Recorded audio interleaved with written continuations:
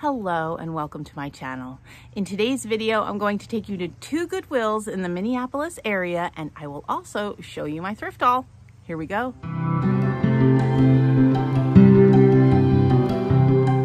Hello. Um, so it's two days later. So our last stop was on Friday, but then we had Hannah's Sweet 16. So now it's Sunday and we are waiting upon the Goodwill to open. We're at one we've never been to. It's It's two stories. two stories Yeah. in Richfield. So Maddie was here the other day and she was like, You gotta go to the Richfield one. And we were like, Okay. So, but on the map it says Minneapolis. So for Yeah. anyone local, it's what is this, the address? We're on Nicollet Avenue. yeah. I've been to the one, in, um, the other one There's in one Richfield, down which the I guess ha- their That street address is Bloomington. Bloomington. Yeah. That one is one of my favorite ones, and I've definitely taken you in there before. we'll be going there next. But um, we just, I just never have been to this one. There's a lot of Goodwills in the city. I wonder if it's new. Maybe it is. It looks pretty New. It looks pretty new and pretty two snazzy. stories. Mhm. Really nice. So anyway, we'll turn the camera around and show you the building, and then we'll show you inside. There it is. There it is. Two stories. Super fun. across the street from Grey Duck. I don't know what that is. There's also a coffee shop we want to try called Wild Grind. So they've definitely been doing some developing in this part of the city. So down here is all women's clothing. Upstairs is the other stuff. All right, I'm gonna Oh, go there is an upstairs. Oh, okay. Oh, she's bringing carts upstairs. Oh, so we can get a cart upstairs Yeah. for hard goods. Molly's gonna shop the clothing. I'll shop clothing. down here and then maybe I'll come up and meet you. All right. If you're new to my channel, I'd love for you to hit that subscribe button and ring the bell so you'll get notified every time I upload a video. I usually upload a few times a week. One of the first things I saw that was interesting was this old rolling pin. It had metal pegs at the end of the handles, which was kind of different. I thought that was cool.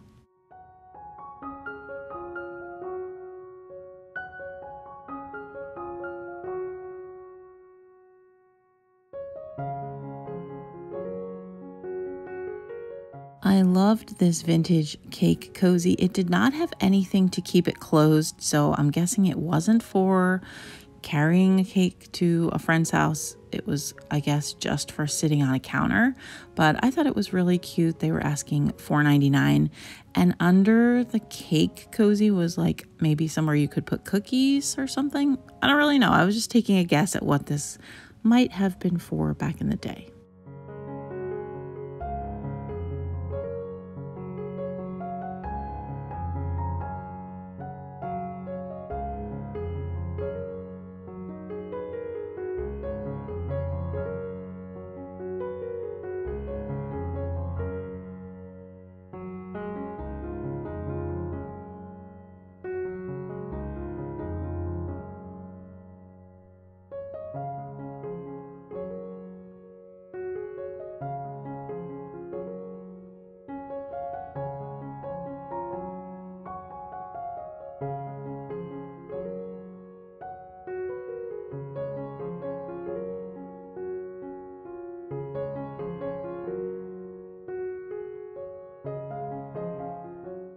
Do love brown transferware, but I wasn't sure about the ship on this dish pattern.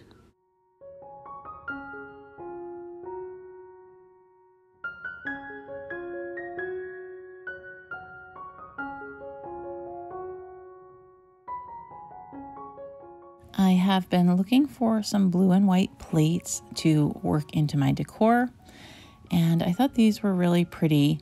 There was a stack of them. You can't even tell on the camera, but they actually were differently colored from one plate to the next. Like some were much more navy and then others were much more blue. I try to show you that here, but you really can't tell in the camera. Are you kidding me? That's my Gibson plate. that is too funny. Are there others? I said as soon as I stopped looking for them, I was gonna find a bunch. There's three. That is a hoot and a half. Well, I haven't gotten rid of them yet.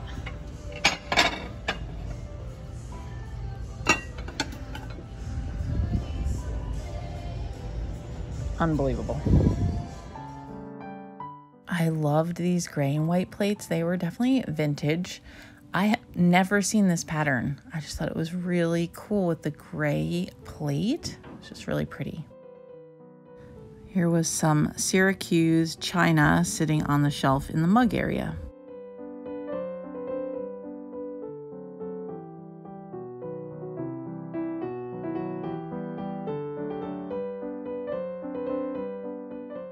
I thought this was a really pretty bowl.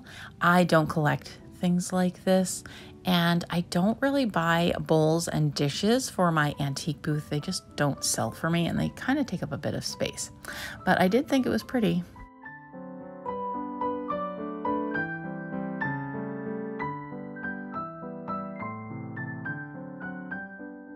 I do have a weakness for vintage shakers. I thought this one was really cute. It's kind of similar to something I have, although the colors in the flowers are different.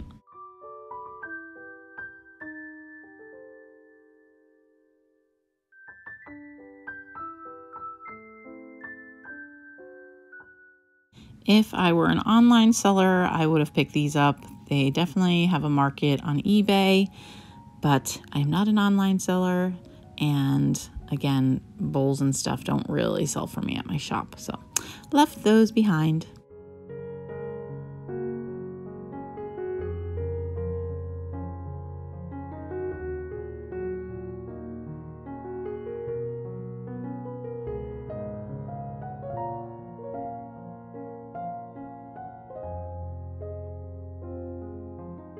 I almost bought this teak bowl, but you can't tell from the camera. The inside was the like the finish on it was messed up. So, and I wasn't sure if someone would be able to still use it or if they just have to use it for decor. So, this was an enormous tray. You can't even tell from here, but it was huge, huge, huge.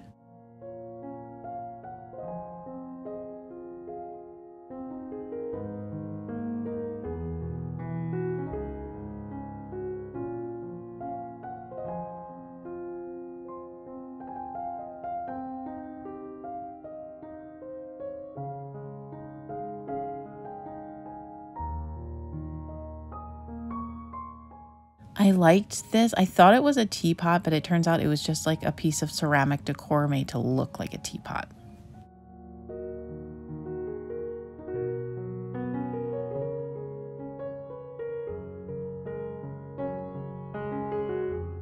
There were four of these old chairs. I thought they were fantastic. If I had anywhere to put them, I would have grabbed them. They were under $5 a piece, which was a really good price, but I really had nowhere to put them. I know people buy vintage prints all the time for their home decor, and I always love the way that it looks, but then when I see it in person, like I never actually want to buy it for my own home. But I did think this was a cool one.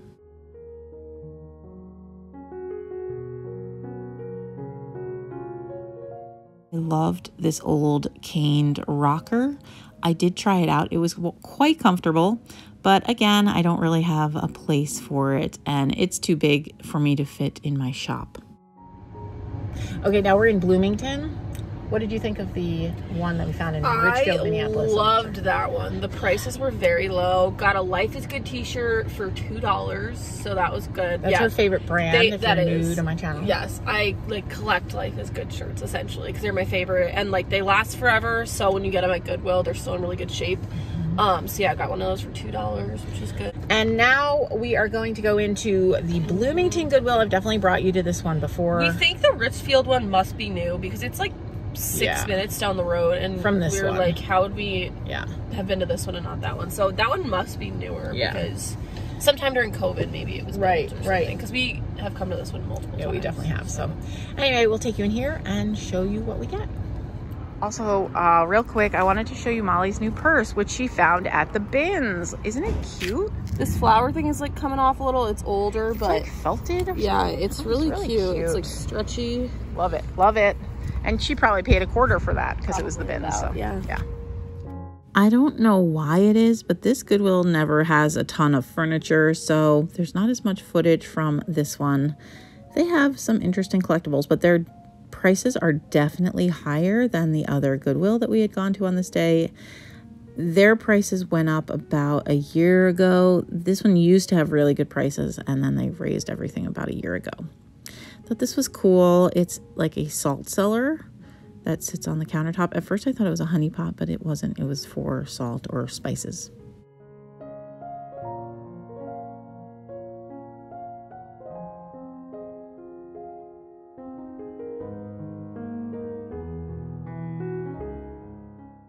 I also have a thing for picnic baskets. This one was really neat. They had $9.99 on it.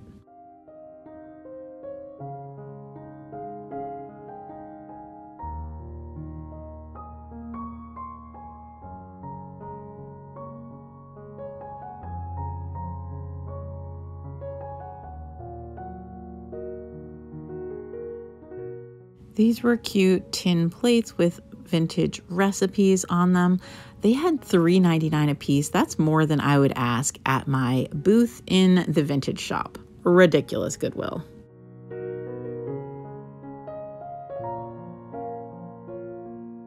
I really liked this piece of milk glass.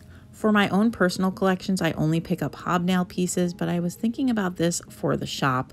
But they had $6.99 on it, which was really high for a resale piece.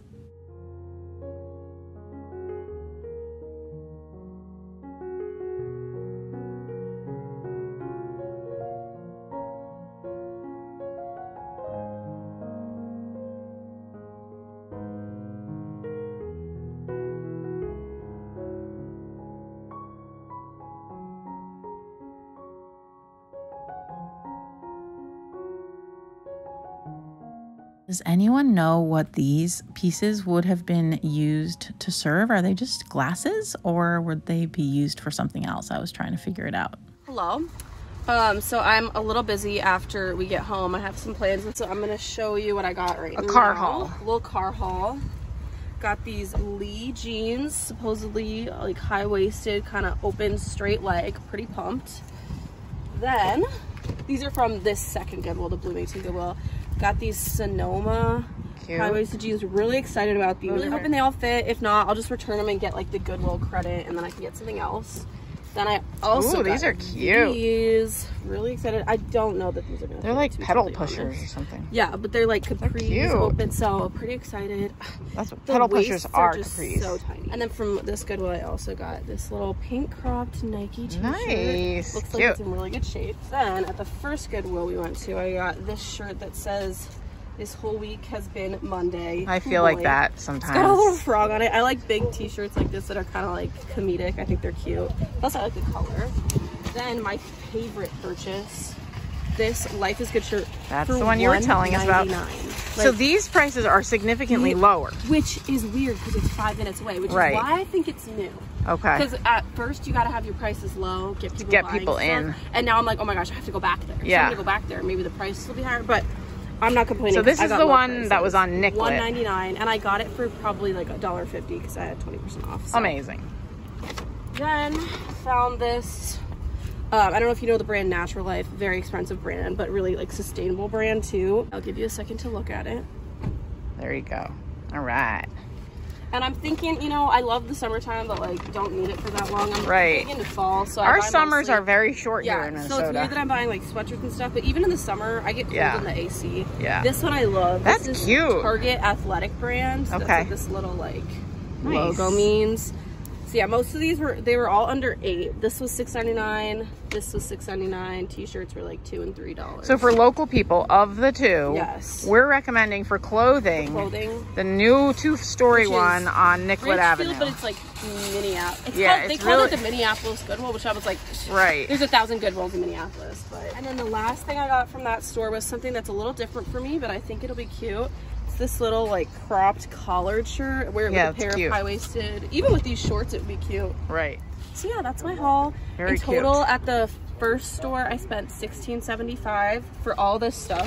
Which, so you can see, I got one, two, three, four, five things. And then at this store, I spent twenty, and I got four things. And So, there's a little preview of one of my items. of the haul. I couldn't leave the picnic basket behind. All right, and I will uh, do a little haul when I get home. Yes. Hello, you all. I hope you're doing well, and I hope it was fun coming along with Molly and I to those two other Goodwills. Remember, this was the weekend where you had we had 20% off of all of our purchases as VIPs, and so we went to three Goodwills. If you haven't seen my other video, there's one here. It was part of the Thrift Shop Hop. That was a collab I hosted last week where a bunch of us thrifting people got together, filmed thrift with me's and thrift hauls, and we all put them together on a playlist.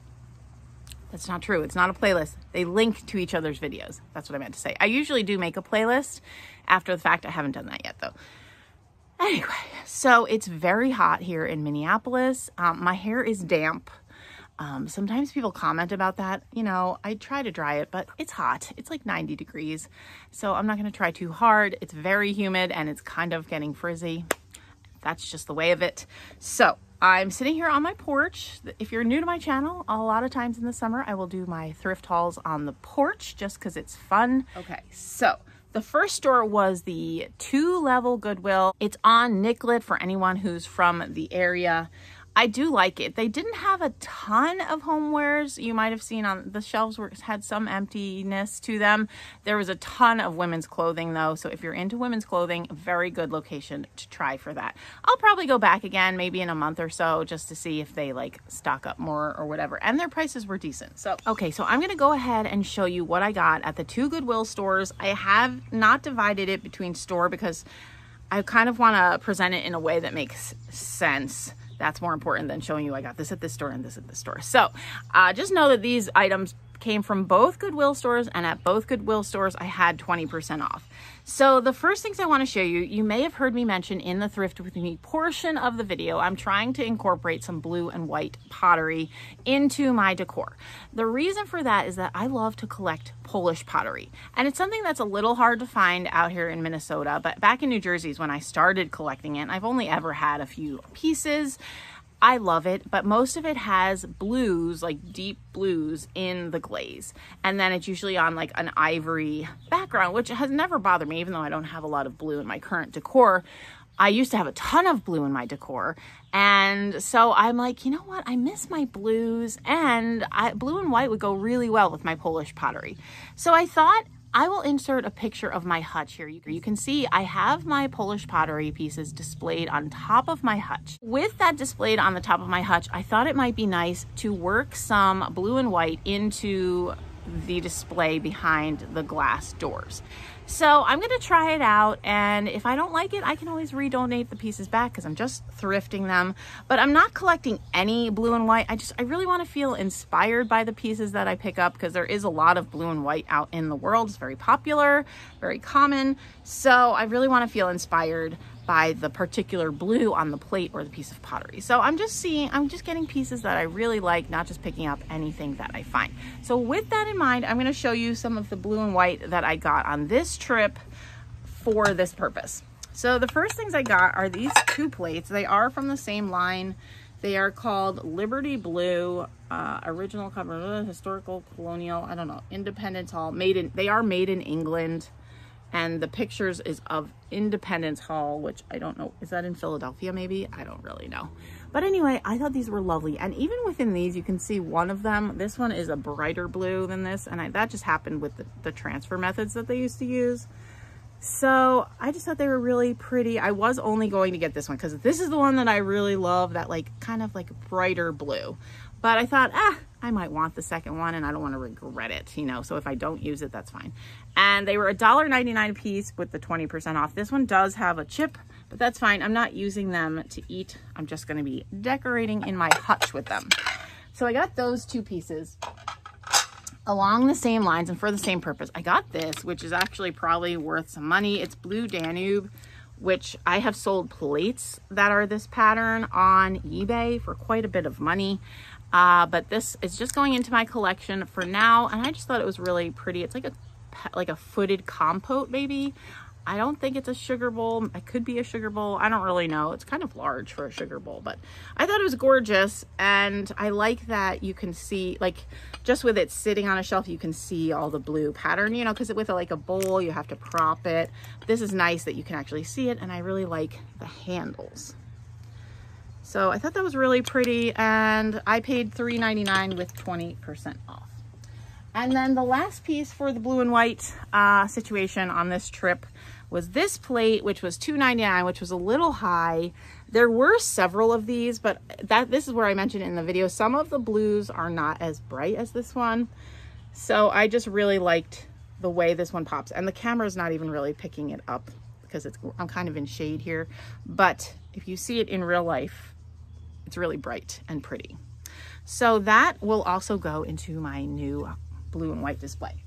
And I think fall is a nice time to try it because I decorate with traditional fall colors with a lot of like rusts and orange. And on the color wheel, uh, blue and orange are opposite, so they actually complement each other really well. So I thought, well, now is a great time to try blue and white because I'm going to bring oranges in. And then if I like it, you know, like obviously Christmas, everything goes away and everything just becomes Christmas. But then like I use pinks in my January decor and then I, you know, bring out like greens and then strawberries and all of those things will go with darker blues. So, oh, I have a sneeze. Hold on. Sorry, my allergies are terrible terrible. And we've been getting um, smoke from the Canadian wildfires down where we are. So that's been a problem. So my asthma and my allergies have just kind of been a mess lately. Anyway, so those are my blue and white pieces. So moving on to what else I got. I mentioned in my yard sale video, which I can link here, I got a tip from a friend. She said that for reselling purposes, gravy boats sell really well in the fall and into the holidays because people are having, they're hosting Thanksgiving, they're hosting Christmas dinner, and people need extra gravy boats. So if I find them cheap, I've been picking them up. So I got two gravy boats. This one was $1.99. This one was $2.99. I think this one's really pretty with the black and white pattern. And oh, you can't even see it because it's on the other side. There's a bird. So if I don't sell this, I will not be sad uh, to have it. Imagine if that was blue and white, that would be gorgeous. but you know, I love black and white pottery. So I won't be sad to keep this if it doesn't sell, but I think it probably will. And you sell them, she said she sells them for like between eight and $12. And people just pick them up at the Pink Elephant. So that's what these are gonna be for. And then this one is not marked. So this one is marked, it says 22250, two, fifth, 2225 so it's just modern. It's a modern piece. This one is vintage. It's not marked, but you can just kind of tell by the pottery. Really pretty, kind of an interesting shape. It probably had an underplate, which I don't have, but I don't think that's going to matter. I think I will just try it as gravy boats in my little booth at the Pink Elephant, which is the antique shop where I sell stuff, and see if I can resell them. And if not, no big deal. It's an experiment, right? Okay, and then also I did get this, and so you know I have a little candle snuffer collection going on. Mostly I'm trying to find ones that hang, because I like how they look hanging on the wall. I have this little peg thing, which I should show you in a video. I haven't done it yet. But because this is an angel and it's Christmas time, I don't have any Christmassy candle snuffers. And I do have a collection of these little metal angels. I think they're, the ones I have are silver. I'm not sure what this is. They're silver plated. But I thought she would be really cute set with those because I collect candle snuffers and I also collect angels. So it was a nice little, you know, uh, marriage of the two things that I really like. So, and that was a dollar ninety-nine. Okay, take a sip of coffee. one of my favorite mugs sent to me by a subscriber. Thank you very much. Okay, then, well, I'll show this to you because you already know I got it. I got the picnic basket. Oh my goodness. I love this picnic basket. I love this like print, this weave print. Um, this one's vintage for sure. It does have some damage. You can see someone repaired the handle at some at some time but they did a very good job and it's holding up rather nicely it feels very sturdy this one is really cool because i'm going to sit back a little bit so i can show it to you a little bit better so you lift the lid right and then this is what you see so there could be things stacked there and then it has this nice little metal rack you see that and so you can pull that out and then you have the, the underside. It's very clean. Like, I'm like, did anyone ever take a picnic with this? Maybe not, because it's really, really clean. So I love to store stuff in picnic baskets. I do occasionally use my picnic baskets just because it's fun and cute to show up at the park with an actual picnic basket. Um, obviously, it's not insulated, so you can't put, you know, things that need to be kept cold. But it is really cute. And when I'm not using them, I like to stack them. I told Chris, Chris, I'm gonna need an entire room just for my picnic basket and thermos collections. No, I am not a minimalist, And no, I don't care if that bothers you. I like things. And when I get tired of them, I can resell them or redonate. Voila. Okay. And some of the last things, I can't believe this. I knew this was going to happen. So, you know, I gave up collecting the Gibson plates in favor of the Mikasa plates, which are much easier to find. I have found several. If you watch my garage sale haul, I found several the other day. But on this trip, I found three Gibson dinner plates. That's tree tree stuff. Is uh -uh. I'm sitting amidst a bunch of tree stuff that fell down. What can you do? Anyway, so I found three of the Gibson dinner plates. I have not gotten rid of my other dinner plates, so I'm just going to collect both because these are really hard to find. And I can mix and match them on a table. You know, all of my kids are basically grown up. I mean, Gabe is going to college, Hannah is still in high school, but the other two are out in the world. They're going to have partners and, uh, you know, boyfriends and girlfriends that come and have dinner with us. So I'll need a lot of plates in the coming years. So I'm like, well, you know what? For now, I'm just going to collect both if I find them. And this is just much harder to find. And Mikasa, I can find some of the serving pieces a little easier. So, but the two patterns work really well together so definitely I'm just gonna, I'm just gonna keep finding them and, you know, and then address it when it becomes an issue and I no longer have space for both sets. So, I got three of those and they were a dollar ninety-nine a piece. Uh oh. Oh yeah, go. I like your socks. Yeah, Pepsi Cola socks. Gabe is headed to work. He waves goodbye. Love you, honey. Okay, and the last thing I got, so Jamie, my friend from Border Bananas, I talk about her a lot because we are actually friends in real life. She uh, loves Syracuse China. And also Robin, my other friend in real life, loves Syracuse China as well. I've never thought much of it, to be honest with you. I do like restaurant wear creamers, but other than that, it never like did a lot for me. Not, uh, I don't know. I just didn't find patterns that I thought were super interesting. Well, I don't know if you remember. Oh, Robin loves buffalo china. So like a week or two ago, I found a black and white piece of buffalo china, which I thought was so cool, right? So I picked that up, which I've been using because restaurant wear is pretty durable and can be used. And so then at the store the other day, I found these two Syracuse China coffee cups. This one has ink on it because they wrapped it in newspaper, so I have to clean it off. But I just think that's a really cool and different pattern, which I've never really seen ones like this before. So I was like, oh, I'm getting it. I'm understanding more why they love Syracuse China. So I decided when I see Syracuse China that I am inspired by, I'm going to pick it up. And these were just two. So they're, you know, they're not. I really just like that they have that texture on them. I just think they're really cool. And these would be cool in a vignette stacked. You can use them also, but if I just stack them in my hutch, they also look cool.